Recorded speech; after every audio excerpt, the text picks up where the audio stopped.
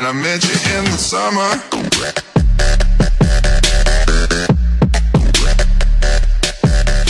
Hey guys, what's up? It's gonna bring in you guys today's video. So today, I thought I'd bring you guys a Town Hall 7 version of last night's base, and it is really different and actually difficult to build. Actually, I took a long time building this base, and I'll explain why in a bit. So, anyways, um, you guys asked for a Town Hall 7 one, so I decided, you know what?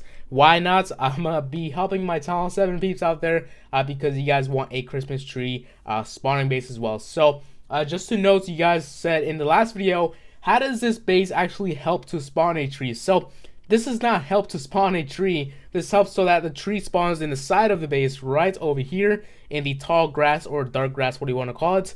And yeah, that's where it's going to spawn. So I'll be bringing you guys a speed build or actually let me just uh, explain. Um, yeah, so the things you need, first of all, you do need something and it is just um, decorations. Now, you only need these decorations right here. These, uh, this torch, the white flag, the cornflower bread or something, the sunflower, the weather vane, the rally flag, the point flag. All you need is that stuff. You don't really need to buy and spend tons of gold on these flags right here. So all you need to do is buy these little de de decorations and uh, that's all you need. That's pretty much all you need to build a space. And that's because you don't have a lot of stuff unlocked at Hall 7 yet to actually make the whole base and fill up the whole base. So uh, you do need that in your base. And uh, yeah, just make sure you buy it. It doesn't really cost a lot, so you don't really have to worry about costment. So I'll bring you guys a speed build right now. Um, and um, after I after it's done, I'll be talking about it. And yeah, just like last night. So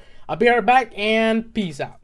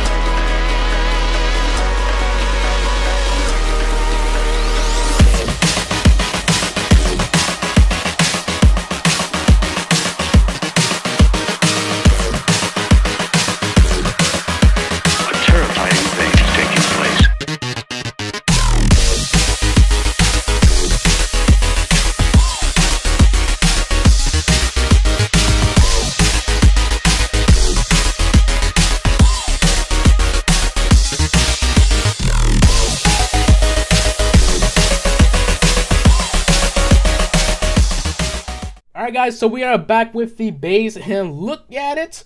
All right, so we have um, this is obviously farming, and the base, this base right here, I actually tried to protect your Dark Elixir the most. Now, obviously, we don't really have enough walls to protect something with walls, so I kind of tried to make the Dark Elixir only be protected with all these defenses ready. Look at that. There is impossible to actually get this Dark Elixir unless you just lightning uh, it. But most of the time, you'll obviously just get sniped. And uh, yes, yeah, so that is the base. There is nowhere where the cheese can spawn. Um, only in this white layer right here.